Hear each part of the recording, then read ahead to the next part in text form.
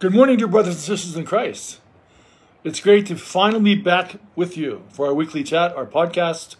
Hoping that the past months have been a blessed one for you and your loved ones, that you're all doing well, that you're staying safe, but most importantly, that you're taking the time to be family in everyday life. So, after all this hiatus of dealing with all this stuff going on in, in, in life, um, it's obviously the Holy Advent season, the Christmas Lenten season. So I'd like to offer some thoughts on the Advent season and why it's so crucial to our lives, but most importantly, for our salvation. So stay tuned. First, though, let's start with our prayer.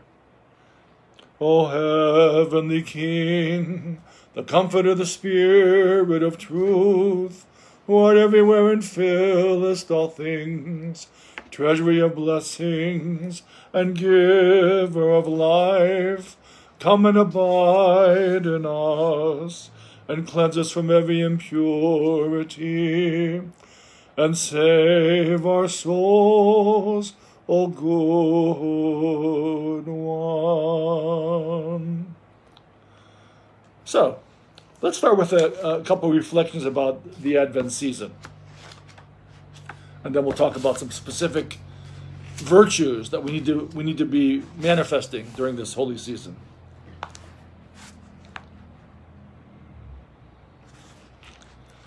Let me start with this wonderful little reflection from Seek First the Kingdom, a practical guide to living the Orthodox life by Father Cornel Todeasa, a Romanian priest. and this one is entitled The Christmas Season is Very Special Every Year. This is what he writes. The 300th anniversary of Voltaire's birth has passed. Few people have heard of him, and among those who have, few will know why or how he's important to mankind. During his career, Voltaire, a philosopher and an author, predicted that Christianity would be extinct, a thing of the past, a relic, that it would happen during his lifetime. While we do not deny Voltaire's contribution to the world in literature and philosophy, we can say that he is passe. Christianity, however, is alive and well. Voltaire not only predicted the fall of Christianity, but he also suggested a few ways of how to bring about the demise of Christianity. He claimed that in order for Christianity to die, the keeping of Sunday as a holy day must be halted. Voltaire's suggestion was enacted during the reign of communism in the Eastern Bloc nations. Growing up in communist Romania was a struggle to keep Sunday as a holy day. In most communist nations, if you know the history of, of, of their development, the churches were under severe persecution, people were under severe perse perse persecution. My own grandparents, who, who lived in Serbia and came over, related stories about how they had to put up a, a picture of, of Tito in their homes so that if the, if the guard, guards came by, they would see the picture of Tito, right? The leader of Yugoslavia.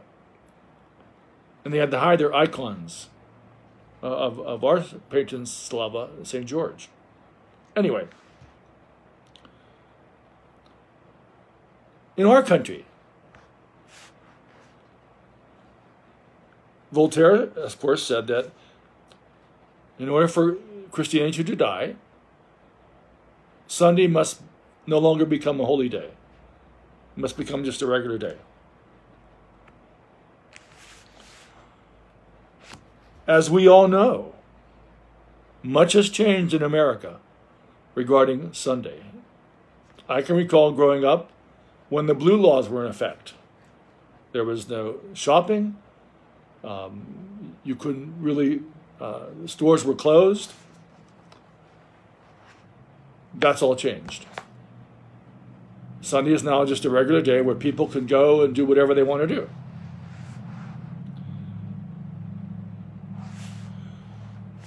Again, just looking at, you know, as as the dean of our, our Pittsburgh deanery, I can see in many of our parishes that uh, parents are struggling because Sundays have now become days when there are activities for their children's swimming, football, soccer, hockey, basketball, whatever. Meetings to go to, dance recitals to go to, whatever. All designed not by those people in those activity leadership positions, designed by the devil to take us away from the one thing necessary to observe the eighth day, the Lord's Day, as a day of rest. How does that apply to, apply to Advent? This year, Christmas falls on a Sunday on, on the old calendar, January 7th. The nativity of Christ is surpassed by the resurrection of our Lord only by Pascha, rightfully so. Christmas is the beginning of our salvation, the event by which God comes to us, right? God with us, as you'll hear uh, our, our, our choir sing in a second. This year, Christmas will be glorified without forsaking that little Pascha, that Sunday of the resurrection. And because it falls on a Sunday, this Christmas is even more special. Let me take a little break and let's listen to our beloved saints of Sava choir singing, God is with us. I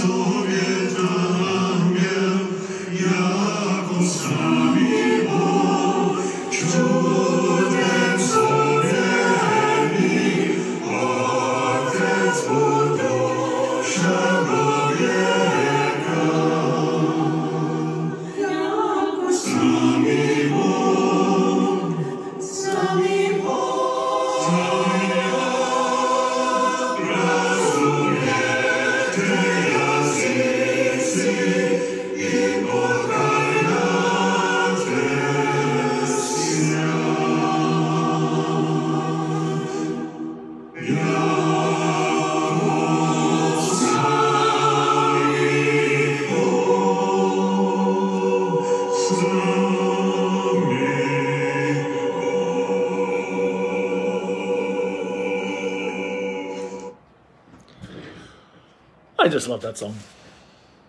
Okay, let's talk a little bit about the challenge of Advent and, and, and the season of Advent, or Christmas Lent, as the church fathers call it.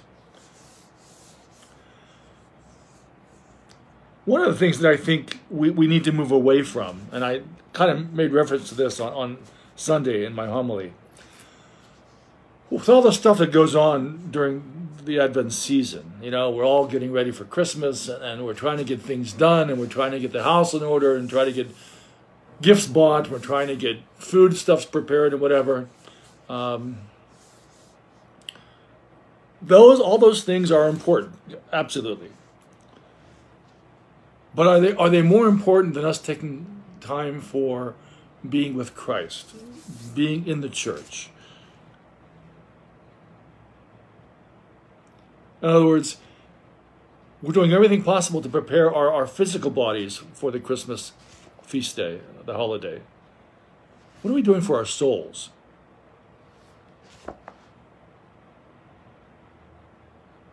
As we fast physically to prepare ourselves for Holy Communion, we also have to fast spiritually.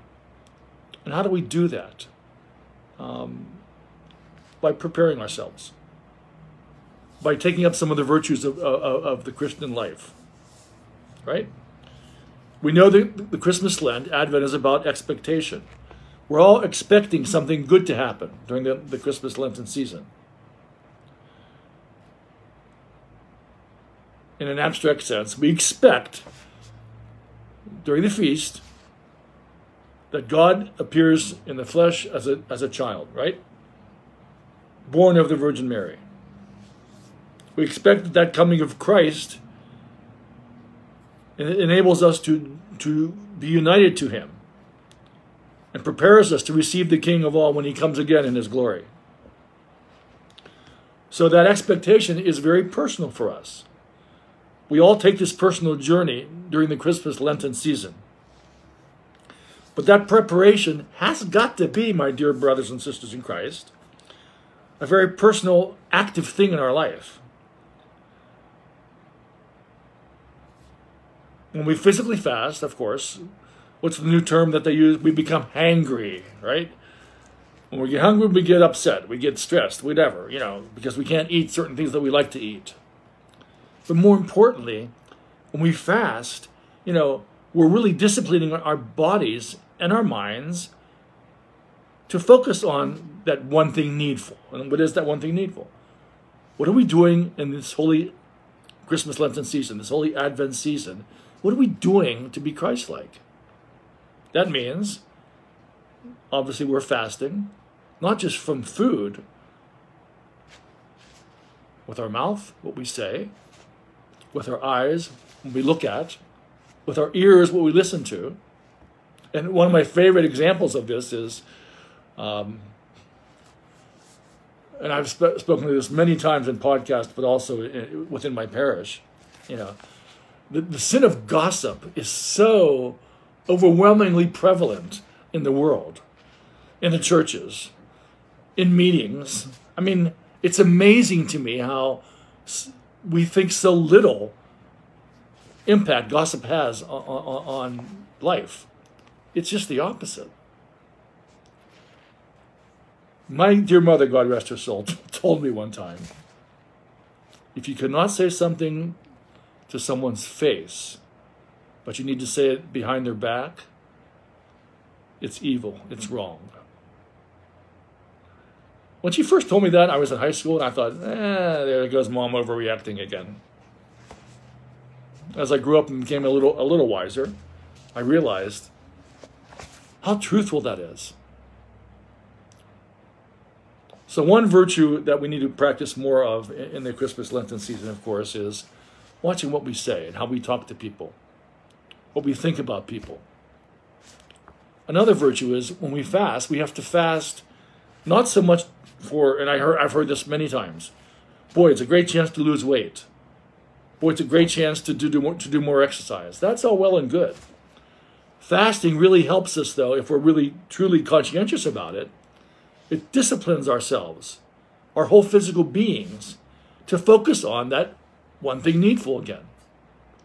Because when we fast, that means we're doing something in place of eating or reading, I'm sorry, or, or looking at something, or we're listening or talking about something. That means we should be doing things, spiritual things. Praying more, reading the lives of the saints, reading the church fathers, reading the, the Holy Scriptures. We all have those wall, wall calendars that gives us the verses for each day. But also, almsgiving. The Christmas Lenten season, by its very nature, talks about gift giving. What are we doing in our personal life, in our communal life as the parish, as, as, as parishes, as the body of Christ? What are we doing to help those in need, the less fortunate, the hungry, the lame, the shut ins, the sick, the naked? What are we doing? Um, I'm blessed in my parish. We just finished a wonderful Thanksgiving uh, needy fund where we helped six families with both Thanksgiving foodstuffs, but also uh, uh, gift cards and monetary donations to, to, needy families. We're doing the same thing now for Christmas.